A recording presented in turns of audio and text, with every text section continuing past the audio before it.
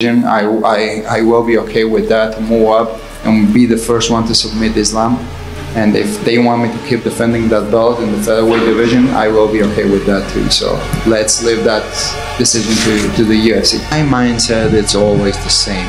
I I, I'm always looking to achieve things that no one could.